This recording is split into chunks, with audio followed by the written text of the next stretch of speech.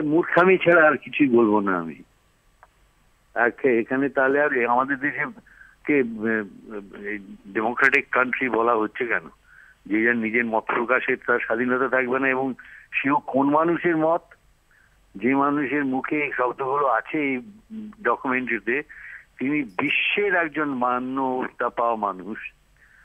তাকে সমস্ত বিশ্ব শ্রদ্ধা করে। তিনি তার মতটি বলেছেন বলে তার করা ডকুমেন্টারি বন্ধ করে দেওয়া হবে, এর থেকে দুঃখ ফুক্ষ নয়, এর থেকে মানে ক্রোধ উদ্রেককারী ঘটনা আর কি হতে পারে? এটা তো এটা তো এক ধরনের সাইটিজম যে তাদের পছন্দ মতো যারা গোমাংস ভক্ষণ পর্যন্ত বন্ধ করতে চায়, যারা মানে লোকের খাদ্যাভ্যাসে হাত লাগাচ্ছে, তাদের কাছ থেকে এর বেশি আর কি আশা করতে পারি? এ তো এ তো এক ধরনের ফ্যাসিজম ছাড়া আর কিছু বলতে পারি না।